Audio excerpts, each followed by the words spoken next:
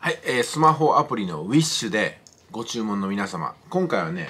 靴のシリーズでまあ物申す宣伝ですがあのちょうど届いたんで靴履いてみたんですよ。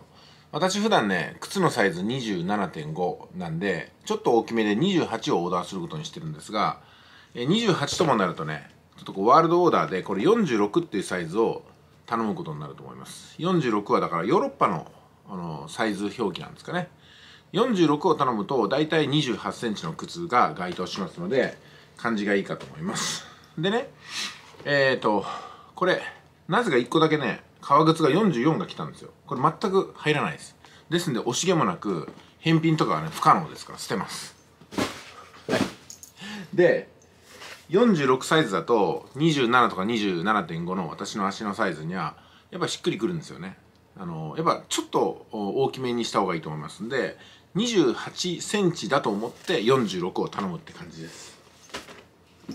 ブーツも同じなんですけどもこれがね46なんですよ。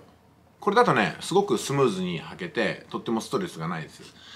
多少つま先がちょびっとだけ余裕がある形なんですけどもやっぱりねそのぐらいの方が動きやすいと思いますのでちょっと大きめにしてます。ですんで28ンチをうん履いてらっしゃる方ね。身長でいうと180センチぐらいの方がこの足のサイズになるんじゃないかなと思うんですけどもウィッシュで買う場合はね46を選択するといいと思いますよ。それじゃあ。